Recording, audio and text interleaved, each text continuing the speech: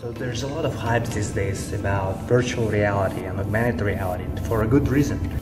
It seems that VR and AR is going to be the next big thing in the world of media. And entertainment. The main difference between the two technologies is that virtual reality gives you a totally immersive experience of being there. And augmented reality, on the other hand, actually overlays holographic images and displays data of the physical reality. Over the course of the next few years, however, these two technologies will start to converge, and eventually, all you need is only one device. A whole array of VR enabling cameras is about to hit the consumer market, which will contribute to the VR industry explosive growth. With real-time streaming, such cameras can teleport you to a live sporting event, concert, popular venue, or picturesque spot around the globe. New VR games with full immersion into the game environment will transform the gamer's experience. With virtual reality, remote learning will take the whole new meaning. You can be in a classroom without actually being there. With this kind of technology, you can relive your most precious moments exactly as they were. A new visionary such as Elon Musk of Tesla or Mark Zuckerberg of Facebook should appear, who would revolutionize the fledgling VR industry and take it to the higher standard. In short time, we can have cinema adopting a new full immersive format. Imagine experiencing Avatar sequel in such an interactive and fully immersive format, where you can choose the outcome of the plot or even interact with the characters. This technology will be changing the way we interact. Even the nature of romantic relationships and human sexuality will be changed somewhat.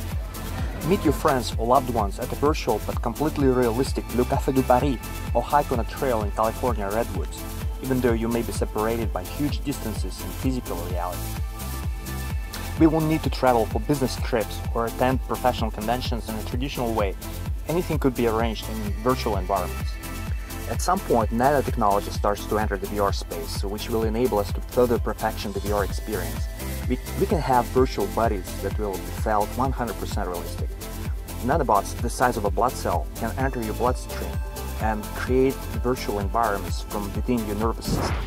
So when you eat a virtual steak, it will taste just like a real thing.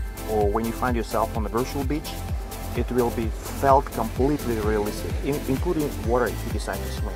Not so distant future, virtual worlds can be created at the blink of an eye, coming right out of your imagination. We will never get bored because uh, we're gonna have millions of virtualities to choose from and share. VR will be so much better, more colorful, more versatile, more educational, more entertaining, more engaging than the mundane reality of everyday life. Possibilities for virtualities are truly limitless. And eventually virtual reality, augmented reality, and physical reality will get so intertwined, they'll get so completely indistinguishable. We'll all be living in techno paradise, an ecstadelic matrix of our making.